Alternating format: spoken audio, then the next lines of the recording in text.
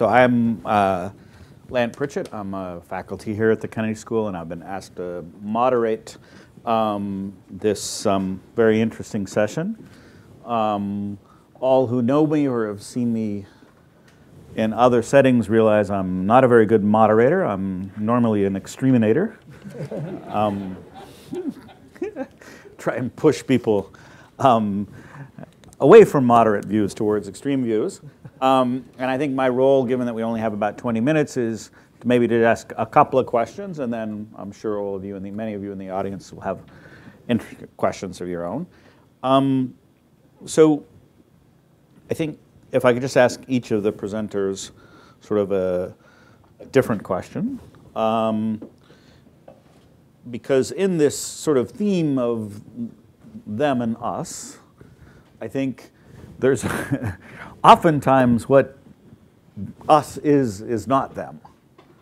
Um, meaning that's how it's defined. Uh, a famous academic once said, "A nation is a group of people who hate their neighbors and misunderstand their history." Um, uh, that's how you define a nation. Um, so uh, let me ask three different questions. First, um, on this issue of you know bringing in, there's fundamentally two kinds of mobility, and there's low scale and high scale, and you know we're making a strong case that high scale migration is really necessary to the dynamism of economy because lots of skills and practices are actually tacit and need direct human to human connection. Um, how much of the resistance do you think is uh, awareness and or sentiment that the existing professional associations are controlling rents, meaning preferred access into regulated industries, and are worried that their rents will disappear rather than seeing the expansion of a sector. They're just, you know, say, look, we sort of went to school to be able to be qualified to do this. We don't want to compete against the whole world. We want to compete against the limited people that pass these qualifications. Um, this, the, the, the second question for Sri Lanka, and I think you did a very good job of articulating that kind of Sri Lanka is an instance in which, you know, the foreigners that you're most nervous about are in fact residents, which is different. Um, so in some ways, you know, residents of the island are the primary, not us. And that has been a continual conflict.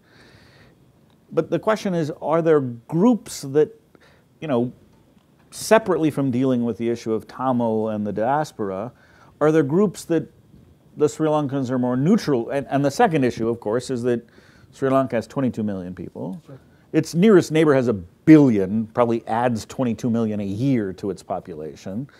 So one can understand being very nervous about India because it's just so huge relative to you.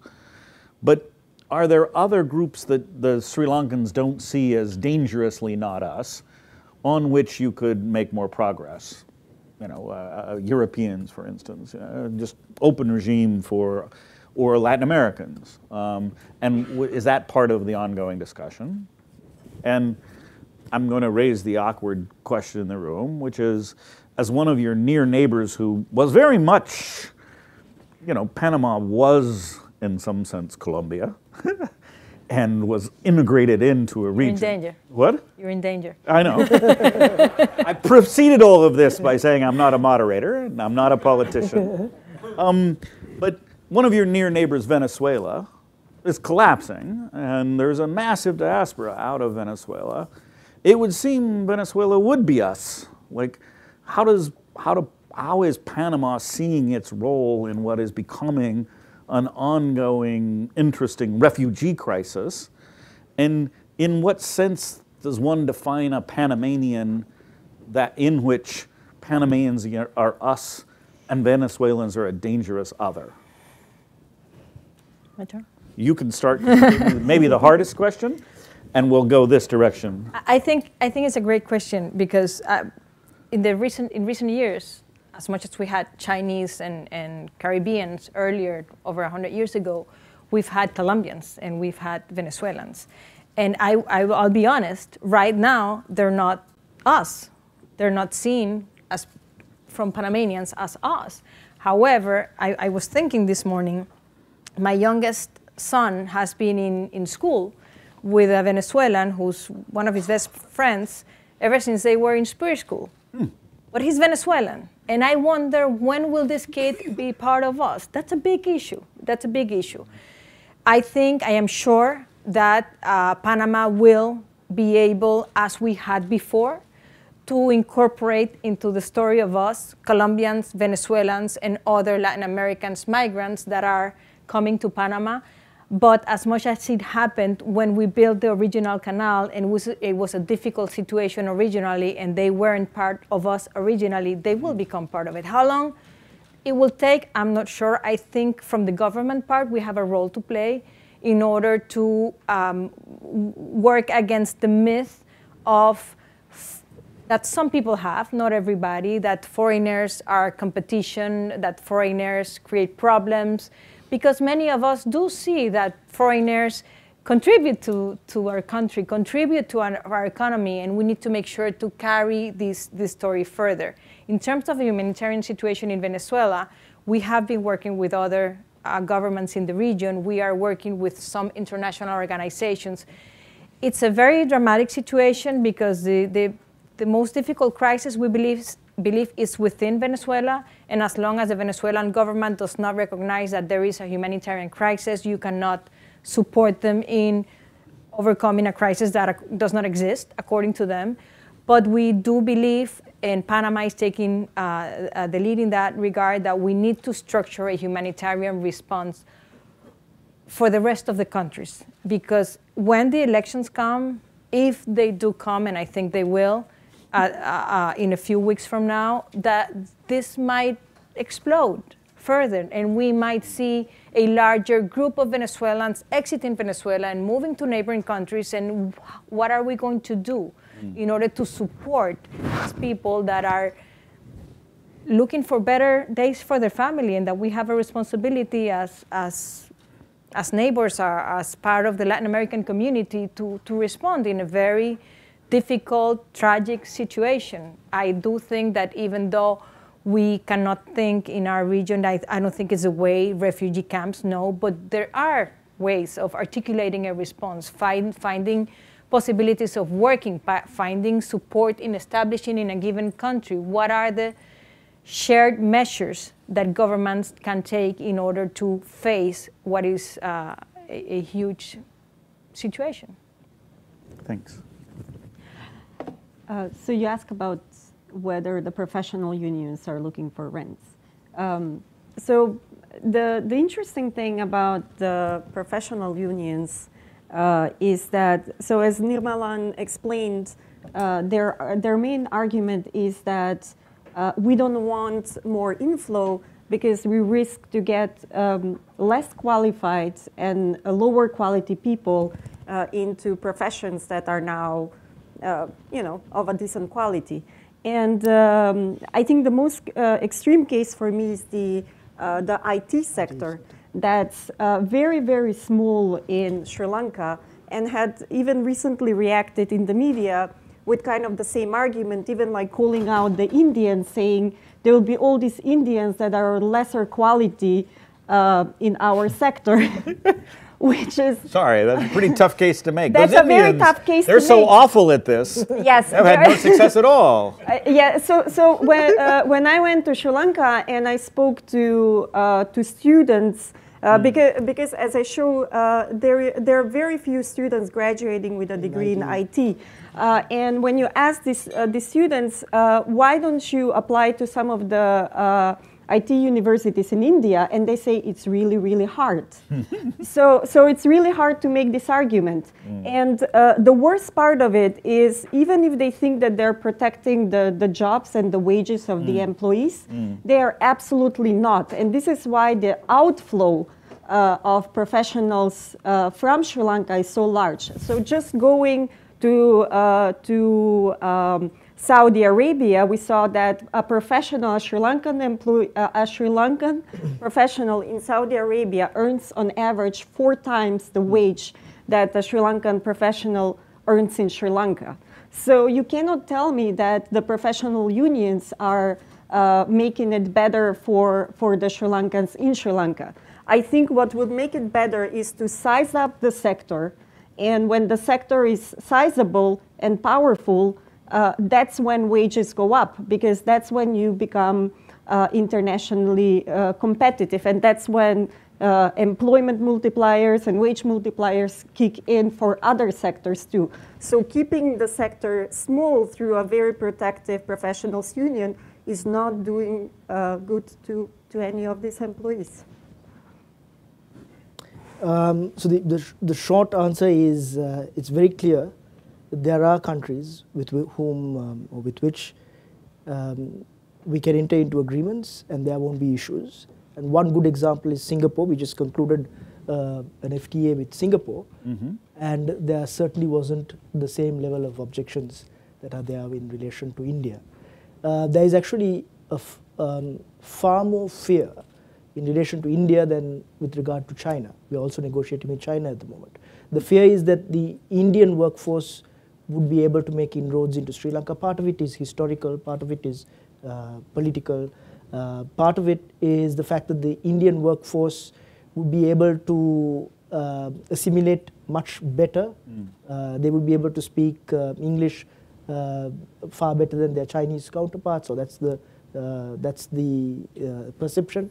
So it's the, the fear is with the with the Indian professionals. Mm. Um, with with Singapore, we saw we have already concluded it. In fact, there were professional groups which uh, which, which shows how altruistic they are. They were actually quite concerned about their prospects in Singapore. Uh, rather than uh, uh, about, they were not very concerned about Singaporeans coming into Sri Lanka. So, um, so it, that's the, the, the, answer is yes, and we have seen it in practice. And the issue is primarily uh, the India um, phobia. Uh, let's open to the room for questions. I, I don't know how that's been handled. People just raise their hands. So let me take, why don't we take three different questions? Sort of one, two, three, and then we'll ask the, we'll maybe take a second round. Oh, thank you so much. Ljubica, I just wanted to mention, you probably know this already, but the issue of pro professional licensing has recently gotten a fair amount of attention, even here in the U.S. Uh, probably the most notable example is hair braiding, which is an innocuous and safe practice that goes back a thousand years. Uh, that uh, in some states, more than half of the 50 states, I believe, you have to get a license to practice, which a cosmetological license, which may cost a couple of thousand dollars. Uh, this got the attention of even President Obama before the end of his term uh, because so many of the folks affected are young black women who make their living or would like to make their living by braiding hair. Um, the uh, Institute for Justice has been the most vocal and visible, I think, about uh, uh trying to roll back these professional licenses. I, I wanted to throw some uh, statistics at you um, to see if they're incorporated, all of you, at the room, mm. to see if they're incorporated into some of the analysis of the, the benefits of, mm-hmm. of, of, migration, of immigration. Mm-hmm. In the United States, in which we get about a million to a million two migrant workers a year, both legal and illegal, the uh, effect that that has on our implied savings rate, on what we save by that having that human capital arrive mm. here, because we need them. They're employed. They're not going to go unemployed. We have we don't have a replacement, a human replacement birth ratio that that that is fulfilling the needs of the country. The human capital that we gain from that immigration flow is about a trillion dollars a year. It costs the United States roughly a little bit under a million dollars to raise a citizen from birth to the average educational attainment of its immigrant population, which is roughly high school to a little bit of college. That's the average educational attainment. What that means is that the United States has been able to grow at a much faster pace than the UK, Europe, and Japan with a much lower savings rate. Roughly the savings rate in the United States right now is about 6%. With 1 trillion of implied savings of that human capital that arrives in the country, fully fed, raised, and reasonably educated. It'd be better if it were better educated, but it's reasonably educated. We have an implied increase in our savings rate, which is not measured at all in our GDP statistics. Hmm. Five percentage points higher than the 6% that we, that we reflect. So I am suggesting it will vary from country to country depending on how expensive it is to raise a citizen in, in each country. But I want to throw that at you because I haven't seen in any of the, of the immigration uh, policy research that's been shared with us that kind of analysis. This is for the this is for the first speaker. Uh, just I'm just wondering. At the same time, I'm convinced that uh, as a politician, that uh, migration brings uh, uh, economic benefits. At the same time, just to ask you a question, a clarification. You spoke about India and Sri Lanka, and Sri Lanka started actually manufacturing in the in the 80s. Uh, Mazda and Fiat cars were manufactured, but that uh, entrepreneur was killed, and um, uh, then then the civil war struck. Uh, so for India, you spoke about Silicon Valley. Silicon Valley came later. Before that, Tata, uh, uh, Bajaj, they started manufacturing a closed economy. So we try to support always migration brings, and when it comes to Europe, migration has brought a headache, terrorism also.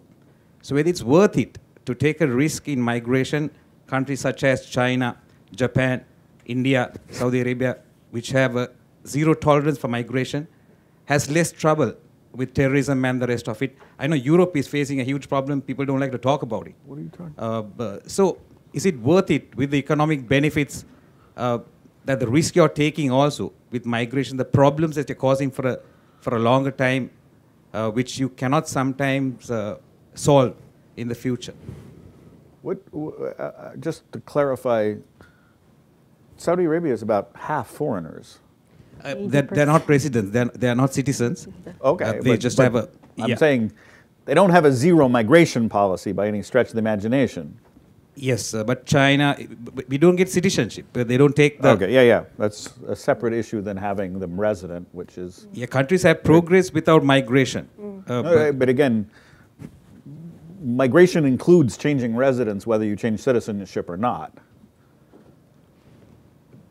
Meaning mobility is migration. yes. And then whether or not a migrant in Saudi Arabia acquires citizenship or not is a separate question to whether they're a migrant. There are tons of migrants in Saudi Arabia. Yeah, that's one, one instance, Saudi Arabia, but there are so many other countries which they are not tolerant towards migration, but they've done well. Closed economies. Why don't people talk about uh, those examples? India, China, they were closed economies, and then they they uh, they are here where they are at this at, the, at this moment with that uh, economic uh, strategies.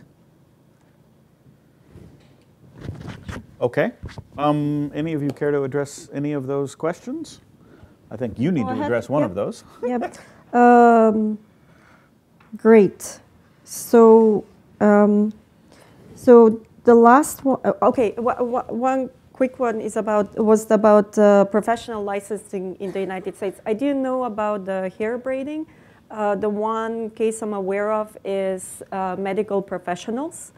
Um, so there is a very strong uh, American Medical Association of uh, doctors uh, that prevents a lot of the, I believe, the medical practitioners. So you can be a professional nurse nowadays with a PhD, but you cannot do the same job as uh, a lot. You cannot give a lot of the services that doctors do, uh, even though you may have the same level of practice and the same level of education. And this is mainly uh, driven by uh, professional uh, associations uh, at the national and then um, at state levels. And there is research being done showing that at the state level, states that have stronger um, regulation actually have lower um, uh, lower access to certain kind of healthcare, and because you basically create artificial shortage uh, of healthcare by um, you know giving more of the jobs to the doctors and less to the very qualified nurses. Uh, so, so that's one case, and it's very distortionary, and uh, uh, I don't think it's being solved. Um, on the on Sujiwa's question, which is, is it worth taking the risk? There are other, there might be other ways uh, to progress. Uh, so one other way, uh, I think you mentioned China. Uh, so let's not underestimate that China may not have a lot of migration in China, but a lot of Chinese go abroad, uh, study abroad, work abroad. Actually, uh, they have policies through which they have to return and work for a minimum number of years in China. So that's another way to do it. Uh, the, the other way is strategic alliances. So this was the case of South Korea, and this is also what China is doing. Uh, so they do joint ventures, and uh, uh, uh through these joint ventures, they actually manage to create a lot of technology transfer uh, from foreign companies to domestic. Um, but for there is a reason why China is gigantic. It's, it's quarter of the world. And India, what is it, another 15% of the world. They're about equal. They're about equal. Population size, they're about equal. Yeah. So, so I think um, a smaller country may need a, a, somewhat different strategy when it comes to identification of talent uh, and, uh, and the inflow of people. And uh, it's no uh, wonder why Hong Kong and Singapore cannot take the same um, uh, policies to know-how acquisition as China uh, has. So they had to uh, open up their, their migration policy. Now, whether uh, it's, uh, it's worth taking the risk, I think Nirmala knows much better. Um, I think it's, it's risk only in terms of timing. So the better question to ask, when is the right timing to do this? Okay. Um, by the way, though, the, the, the risk, you know, the risk of a foreigner is an interesting thing because I lived for a period in Indonesia, and actually, an important tactic of Suharto was to empower, empower Chinese ethnic nationals and large ethnic Chinese conglomerates to take on important economic functions precisely because as Chinese ethnic nationals, they faced no political challenge. So he said, look, I want a really thriving private sector entrepreneurial base that doesn't challenge my political status, that can't possibly arise and be a challenge to my political status. So actually by having the other as part of the dominant economic strategy, he, you balanced, you actually reduced the political risk. So this is partly why I was saying I can understand that there are certain super hot political ethnicities, right? And risk of terrorism always arises from hot ethnicities. But on the other hand, having the other being part of your economic strategy is often a politically favorable strategy because it disarticulates the political power base from the political power, the economic power base from the political. I mean, Suharto wanted the modern economy largely in Chinese ethnic hands because he knew that that couldn't be a base from which to legitimately oppose him politically. There's something like that going on with my, you know, migration as well, whereas some ethnic, you know, some national identities are going to be super hot politically, but others are like neutral politically, but yet can be really powerful economically, and it all depends on the nitty gritty of identities here. Sorry, Sorry. You want to say something and time is up, so I'm not going to say anything, but you're a vice president of a country. Again, again, do whatever I you want. very, very quick, very quickly, because of the, of the address of uh, there are countries that are closed and they're doing well. We have been discussing today the issue of what does it mean for the economy to be open or closed. But I don't think that's the issue alone. I think if we live in a global economy and we have development challenges, we do have a responsibility to migrants and people from other countries that are fleeing their country because of unrest, because of war, because of difficult situations. And I do believe that as part of the of the global framework, as countries and as citizens of the world, we cannot just think of migration in terms of the economy. We need to think of migration in terms of what this means to human beings that are facing a situation, a reality, and that we should all together think about that and not leave it alone to one country. Thank you very much. Thanks to our panelists.